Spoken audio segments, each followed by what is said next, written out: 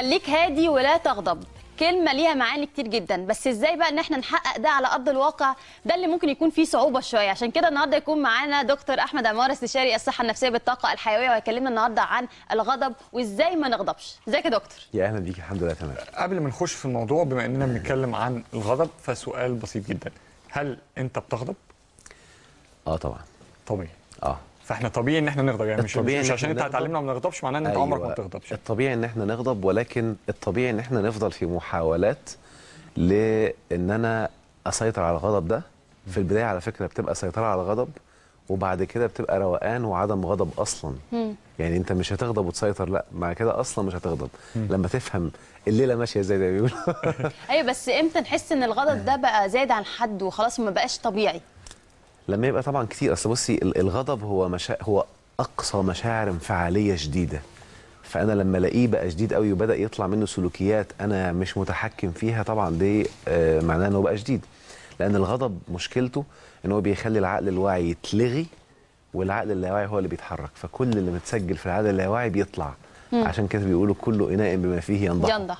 لأن اللي أنت بتحاول تتجمل فيه بيختفي عند الغضب. بس هل هو ده الشرط؟ يعني هل يعني لو أنا مثلا من النوع اللي هو آه، مهما كنت في خناقة أو قافش بحكم العقل فيبقى أنا ما غضب ما بغضب مش مش غضبان ولا؟ ما هو أنا ما هي دي اللي بتكلم فيه بقى. هو الأول خلينا نتكلم في الغضب بالظبط. وأضراره إيه؟ وبعد كده نتكلم إزاي بعد كده نعمل نبقى رايقين في تحقيق اهدافنا أرجوك. عايزه أبقى رايقة. الغضب اولا هي مشاعر مهمة جدا ربنا مودعها جوانا علشان تخليك تستفز لفعل شيء تمام؟ ولكن المقصود بالغضب منهي عنه هو الغضب الشديد إن أنا الم- المشاعر الأوفر قوي من الانفعال. والغضب منهي عنه في كل الديانات على فكرة. وخلي بالك إن لما يتم النهي عن الغضب معناها إن أنا أنهى عن مشاعر الغضب تحت أي مبرر. لا تقول لي مبرر مادي ولا معنوي ولا ديني. لأن في بعض الناس للأسف بيقوموا فاتحين سكة كده صح. ويقول لك أنا بغضب لله. لا يا حبيبي الغضب منهي عنه سواء للشيطان ولا لربنا. منهي عنه. معايا؟ دي حتة مهمة وه- وهدي آيات من القرآن بتبين ده. خلاص؟ الغضب كغضب كمشاعر منهي عنها. إنك تحاول تلجمها وتكت... وت- وتكتمها. تمام؟ اللي أنا أقصده بقى الناس اللي بتقول لك لا ده أنا بغضب عشان ربنا بيستحل نفسه الغضب فتلاقي مثلا شاف واحد بيعمل حاجة غلط قال إيه بقى؟ بيغضب؟ عشان. فيبدأ بقى يضربه. طب أنت بتعمل مصيبة أساسا. أنت من حق مش من حقك تعمل كده أصلا. صح. وبالتالي شوفوا عندنا ال ال ال الديانات السماوية اتكلمت عن الغضب على فكرة كلها وكلهم نهوا عن الغضب. ولو خدنا القرآن كمثال مثلا هتلاقي الغضب ذكر في القرآن في مح في موضوعين أو في في قصتين يمكن أربع أو خمس آيات بس في قصتين. قصة غضب سيدنا يونس وقصة غضب سيدنا موسى. والاثنين أنبياء. صح. لم يذكر الغضب في القرآن إلا على الاثنين دول بس. في غضب لله ربنا بيغضب شديد على الغضب مفيش مشكلة. لكن إن الاثنين بشر ده سيدنا موسى وسيدنا يونس. إيه اللي حصل بقى لما غضبوا لله؟ طلعت سلوكيات سلبية. ربنا حاسبهم عليها. لما سيدنا يون سي- سيدنا يونس أيوه بيدعي قومه فقومه ما استجابوش فغضب لله. ومشي. فساب الدعوة ومشي. فربنا جعل الحوت يلتقمه. لو أنا قلت لك كده يا عادل تخيل لو أحمد عمارة مسك المصحف ورماه في الأرض. ده سلوك عامل إزاي؟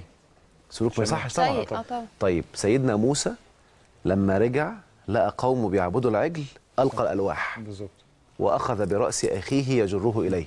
اذا ربنا بيعلمنا إحنا في علم النفس نقول الغضب بيخلي سلوكيات يعني الواحد بيطلع سلوكيات مش صحيحة. وبالتالي ربنا علمنا في قصتين للأنبياء إن إحنا نتعلم من الغضب ده.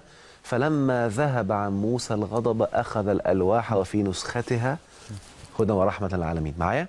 لما بدأ يهدى بدأ يتعامل مع الناس بالسلوكيات الصح وبالتعليم التعليم الدينية الصحيحة.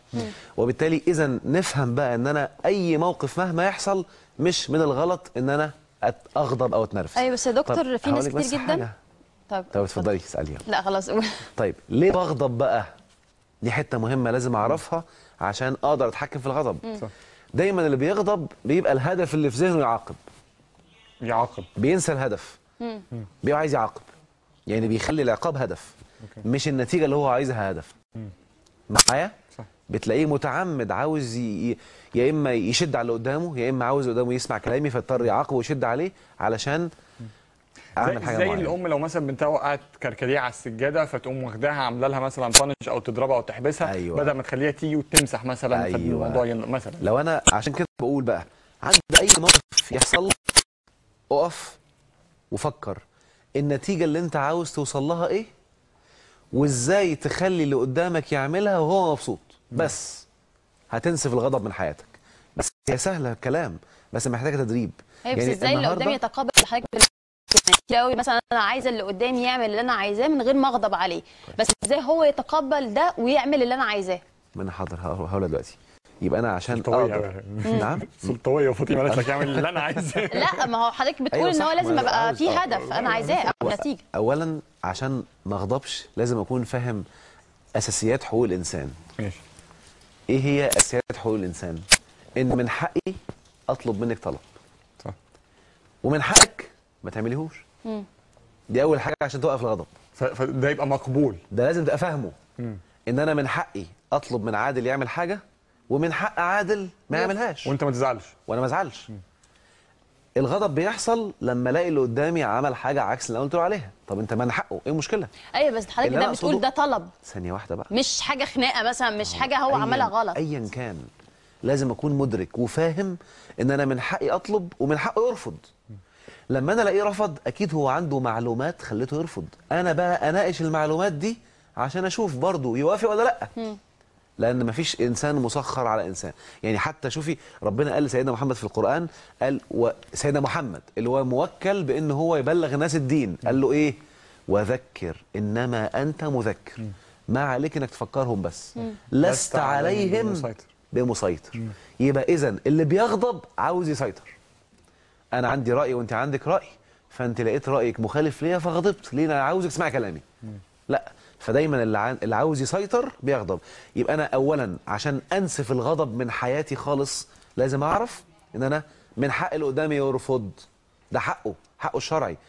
يعني إيه حقه الشرعي؟ يعني ربنا قال من شاء فليؤمن ومن شاء. فليكفر. أنا أبقى عارف إن الكفر غلط وأقول له يا حبيبي غلط بس برضه هو من حقه. من حقه يؤمن من حقه يكفر.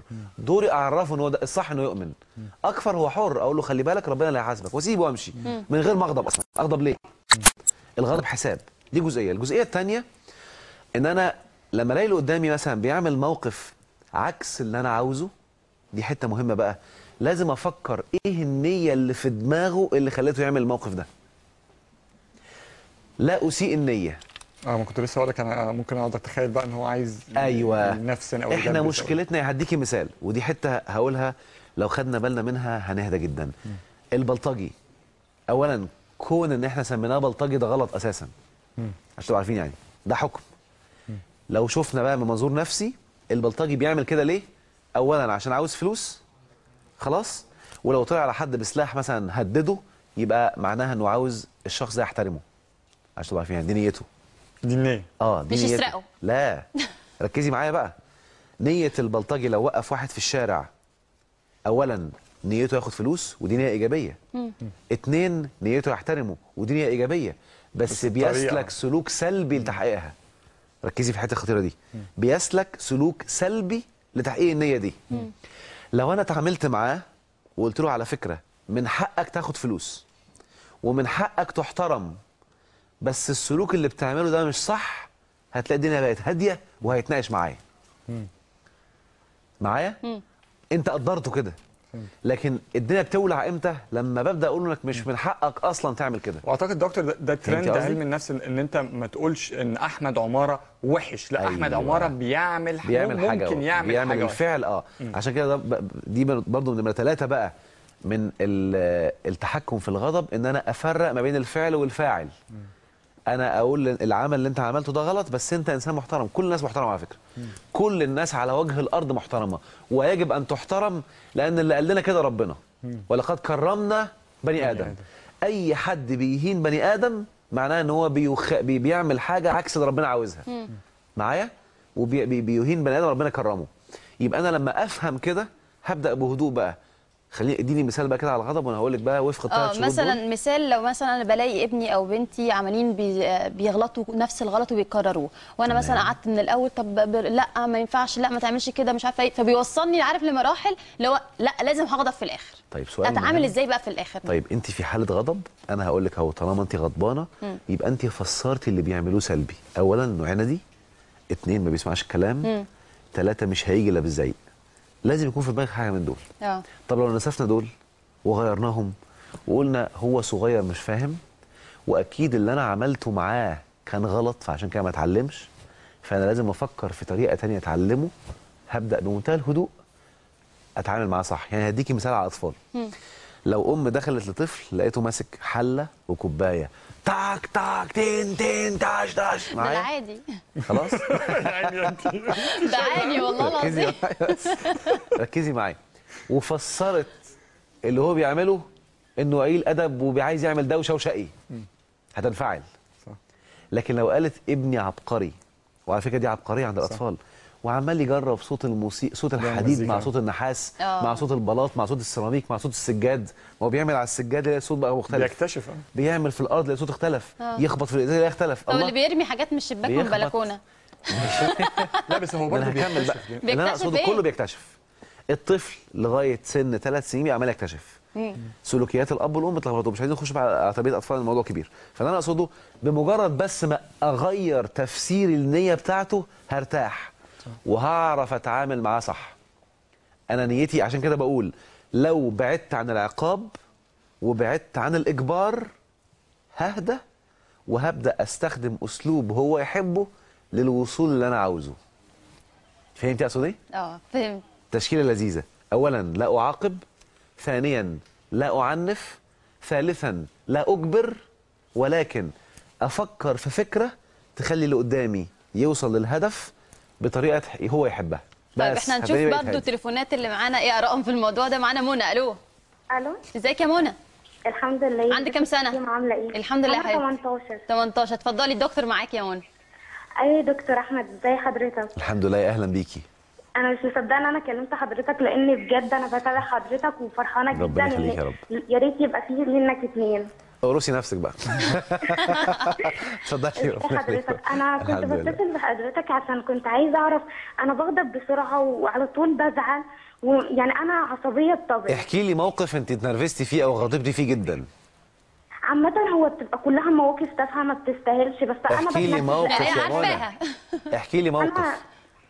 احكي لنا آخر مرة احكي لنا آخر مرة آه، قفشت فيها جامد جدا كانت إمتى وكان إيه السبب؟ أنا يعني مع ماما على طول ب... يعني بتنرفز كده حتى على ماما ما ب... يعني ما, ب... ما أنا ما أول ما بتنرفز ما بحسش بنفسي. منى بلاقي أيوه. منى بقول لك أيوة. احكي لي موقف. ماما عملت إيه؟ قمت انت عاملة إيه؟ عشان أصل موقف تافهه طب قولي. شوفي. انت مكسوفة منها إزاي؟ طب قولي قولي ما تكسفيش. الدكتور عايز يسمع الحاجات أنا عايز دي. أعرف الموقف. قولي ماما عملت كذا أو قالت لي كذا قمت أنا ساعتها عاملة كذا. يلا. ما تكسفيش يا ما منى أقدرش أقول عشان هي كلها مواقف تافهه وما تستاهلش إن أنا طيب. أقولها بس أنا كل اللي بقوله لحضرتك إن أنا ما بعرفش أتحكم في نفسي خالص. خلاص. مش ماشي. بعرف أعمل طب حاجة طب هقول لك. حاجة حلوة. أيوه. غمضي عينك كده بعد إذنك. حاضر. واسترجعي الموقف اللي حصل من ماما تاني من غير ما تقوليه. وشوفي نفسك هادية ساعتها وبتتصرفي تصرف كان نفسك تعمليه. معايا؟ شوفي. اللي ماما قالته لك ساعتها وشوفي نفسك في خيالك هادية وبتتصرفي معاها زي ما ربنا عاوز. زي ما ربنا أمرنا. هتلاقي نفسك اتنرفزتي صح؟ لا صح؟ ما اتنرفزتش. ليه؟ بس حاسة يعني ما اتنرفزتش عامة بس حاسة إن أنا لو كنت عملت إن الحاجة الإيجابية كنت هبقى أحسن. طيب. لأن أنا نفسي أبقى أحسن. حاضر. هقول لك بقى بالتفصيل لما لما نتكلم في التمرينات العملية إزاي تعملي تدريبات معينة عشان تبقي هادية إن شاء الله بعد كده؟ ميرسي يا منى. هنقول لك ال- التدريبات دي معانا. نورهان ألو؟ نورهان فاصل. لا نورهان طيب. فاصل. آه، خلينا طب نخش على بداية ال- نخش على التدريبات العملية. الغضب من أهم مميزاته مميزاته على فكرة. مميزات ولا عيوب مميزاته لا دكتور احمد لازم يجيب مميزات. أيوه. حتى يوم الغضب. القيامة فيها كلها. من مميزاته إن أنا عند الغضب العقل اللا الواعي بيغيب واللاواعي هو اللي بيقود. بيسيطر. فلو أنا حطيت اللي أنا عاوزه يحصل أثناء الغضب في اللاواعي هيحصل حتى لو كنت غضبان. يعني هدي مثال. لو أنا عندي قناعة من جوايا في اللاوعي كده إن أنا مستحيل أطلق مراتي. لو السما انطبقت على الأرض آخر حاجة أفكر فيها الطلاق. كويس؟ ما اجيش أقول بقى لما اتنرفزت طلقت. لا انت لما اتنرفزت برضو العقل اللاواعي لا يمكن هيطلع طلاق. معايا؟ يعني هو بيبقى من جواه عايز يطلق أصلا؟ يعني من جوه حاطط حاطط اوبشن ده لو عملت كده طلقها فورا. ده لو عملت عليا الطلاق لو عملت كذا لا هطلق. معايا؟ فيبدأ يحط الطلاق احتمال. صح. فيبدأ الع... لما العقل الواعي يغيب يقوم العقل اللاواعي مطلع طول. نطلع ال order اللي كان دي حتة. مهمة جدا. يبقى اذا معلش sorry أنا هقطعك هنكمل معانا برضو تليفون من طيب. جيهان فهناخد جيهان وهنكمل خطوة خطوة كده. حاضر. أيوه جيهان. ألو؟ أيوه دكتور معاكي اتفضلي. مساء الخير. مساء النور. أهلا بيكي. آه أنا كنت عايزة أسأل الدكتور أحمد. ازيك يا دكتور؟ الحمد لله. أهلا بيكي اتفضلي. أنا يعني لما بيحصل أي موقف آه بغضب جدا بس ما يعني ما بظهرش أي رد فعل. بس بعد يومين أو ثلاثة بحس إن أنا لأ أنا إيه- أنا إيه اللي خلاني ما اتصرفتش. أيوه. بحس إن أنا وقفت كده مش عايزة حاسة إن أنا لو هعمل حاجة غلط لو اتصرفت في الوقت في الموقف ده. تمام. فمش عارفة بقى هل ده يعني بعد كده بيأثر عليا؟ بحس إن أنا لأ أنا كان المفروض بيخليكي تضيعي تضيعي حاجات كتير. هقول لك. ميرسي يا شكرا شكرا جيهان جيهان. معانا كمان إيمان. ألو. ألو السلام عليكم. عليكم السلام ورحمة الله وبركاته. اتفضلي يا إيمان. ممكن أكلم الدكتور؟ أكيد اتفضلي معاك. لو سمحت يا دكتور أنا بس هخرج عن موضوع الحلقة عشان دي حاجة كتير بتحصل لي. اتفضلي. اتفضلي. أنا من اللي بتكلم مع نفسي كتير. مش عارفة ده صح ولا غلط. بتقولي إيه؟ في أي موضوع؟ موضوع حلو ليا ما هو وحش خلي بالك أنا ممكن أكون دلوقتي متنرفز مع حد وقاعد في البيت لوحدي وأقول كان لازم أديله ما كانش ينفع الكلام ده يعني. بس لو كان سمع كلامي ده اللي بتعمليه يعني؟ لا مش سامعه كويس. ده يعني أنت شايفاني ولا مش شايفاني؟ لا. طيب بقول لك ممكن تكوني متنرفزة وقاعدة في الأوضة لوحدك وعمالة وانت سرحانة في اللي حصل تقومي مزعقة أو مكلمة اللي قدامك أو مكلمة نفسك. كان المفروض أعمل كذا. كان المفروض لما يحصل كذا أرد أقول كذا. ده اللي. تقصديه؟ آه. لا دي عادي ما فيهاش مشكلة. دي حاجة عادية. ولا بتفتحي مواضيع مع نفسك دي صحية جدا. دي لا صحية. أنا بتكلم في كل حاجة. لا. لو موضوع شغلني بقعد افصصه كده. لا دي صحية. دي ده, ده اسمه تنفيس. بصي أنا بتاعت بنفسي أهو. آه. فما حدش يجي يقول لك انت اتجننتي ده تنفيس طبيعي خدتي بالك؟ بس ما تقعديش طول حياتك في الأوضة بتنفسي. فهمتي اقصد إيه. ده عند الغضب بس. يعني لما تكوني متضايقة ومخنوقه ومش عارفة تتعاملي مع اللي عمل لك كده أو مع الموقف وقعدتي مع نفسك في الأوضة بالعكس ممكن تنفسي بالعكس ممكن تمسكي المخدة وتعجنيها كأنها هو مثلا. مفيش مشكلة خالص. شكرا ليكي. ده خلينا يا دكتور نرجع لجيهان اللي هي بتقول إن بت كل حاجة بتبلعها جواها يعني تبقى قاعدة آه، واحد مثلا يغلط فيها أو يحصل حاجة فهي تغضب ولكن تفضل قاعدة ساكتة ولما تمشي بقى تقول يا ريتني كنت رديت أو يا ريتني كنت عملت. طيب هو اولا هقول بس تدريب عشان أنفس مشاعر الغضب لأن مشاعر الغضب لو فضل مكتوب مكبوتة جوه بتعمل أمراض كتير جدا جدا جدا لست من الأمراض ممكن تبقى حوالي 120 مرض. عشان أنفس عن الغضب كذا حاجة. واحد إن أنا أبدأ بخيالي أفكر في الموقف وأوصل لنتيجة في خيالي. لو وصلت للنتيجة هرتاح ونفذت كل مشاعر الغضب. لو كان حد مثلا أذاني أو حد وعلى فكرة هنا مش عايز أتعامل بأخلاقيات دلوقتي. أنا عاوز أنفذ الغضب وبعد كده أتعامل بالاخلاقيات لو مديري مثلا أو حد أعلى مني وأنا حسيت إن أنا لو هزقته أو ضربته هرتاح أعمل طبعا ده غلط في, في الأخلاقيات بس أنا بتكلم على الخيال دلوقتي. أعمله في خيالي عشان أرتاح وبعد كده أبدأ أنب نفسي طب أنا ليه عملت كده؟ طب أنا كان المفروض أعمل كذا وكذا.